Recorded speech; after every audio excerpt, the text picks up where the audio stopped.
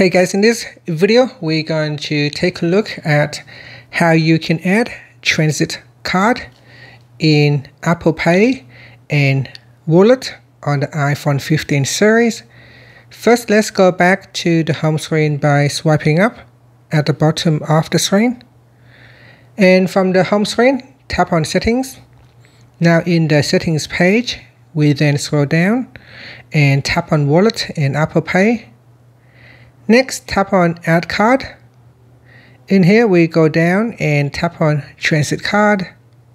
Next, select which card you want to add in here. So there is quite a few lists, uh, a few in, in the list. So for example, if you're in the United States, you can tap on Tap.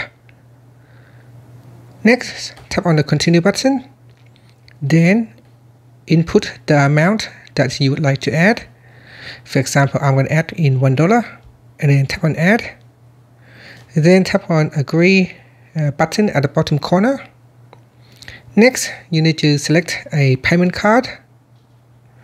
Then you can uh, confirm with the side button so double click on the side button to proceed with the payment. Now I do not wish to pay so I will cancel this but once you have added uh, the payment then you can tap on the add button at the top there. It will add it to your uh, will add your transit card to your wallet.